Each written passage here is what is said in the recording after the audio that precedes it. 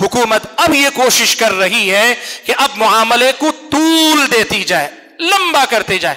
حکومت یہ کہہ رہی ہے کہ این آر سی کے سلسلے میں ہمیں کوئی جلد بازی نہیں ہے، تو آپ مطمئن مت ہو جائیں۔ یہ اس کی اسٹریٹجی ہے۔ وہ چاہتی یہ ہے کہ لوگوں کا جو غصہ ہوتا ہے نا، چند دن رہے گا، چند دن کے بعد ہر ایک کو اپنا کاروبار یاد آئے گا، نوکری یاد آئے گی، فلاں یاد آئے، سب بکھر جائیں گے۔ حکومت لمبا کھینچ کر لے جانا چاہتی ہے۔ حکومت اس معاملے کو طول دینا چاہتی ہے۔ کیا کرنا ہوگا؟ بھائیو آزادی کی جنگ ہم نے تقریباً ڈیڑھ سو سال لڑی ہے۔ ڈیڑھ سو سال اس ملک کے شہریوں نے آزادی کے لیے جنگ لڑی ہے۔ ضرورت پڑے گی تو تین سو سال اس کے خلاف لڑیں گے، لیکن یہ معاملہ بدل کر رہنا چاہیے۔ یہ نہیں ہونا چاہیے کہ حکومت کی ہتھ کنڈے کہ معاملے کو لمبا کریں گے تو ہم اور آپ مطمئن ہو جائیں گے۔ میں چار دن سڑکوں پہ نکلوں گا، پانچویں دن کیا ہوگا؟